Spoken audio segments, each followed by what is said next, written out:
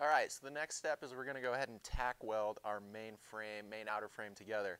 So as you can see here, I have my whole outer frame laid out. I've added my B pieces to the to the pile. So we have our, our A pieces, our B pieces, and our C piece.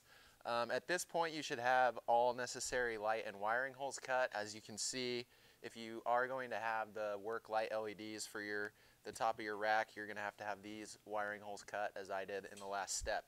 So I'm going to go ahead and show you how to tack weld this together. Um, so the best way to get a nice flush weld surface on here is to use a vice grip when you put your joints together and clamp it on the seam. That makes them the same level so when you weld it and grind off your weld you have a nice flat surface here that doesn't look like there was a weld. It's just totally seamless. So um, I'm here I'm tacking my A piece to my B piece. Make sure your seam's on the inside. It should be if you cut your pieces correctly. So I'm going to go ahead and clamp this. And when you clamp it you're going to want to have an eighth inch gap. So see there's a there's a small gap right here.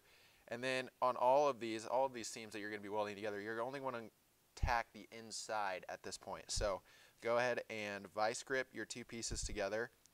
Probably a nice eighth inch gap between the two. And then um, go ahead and do two tack welds on the inside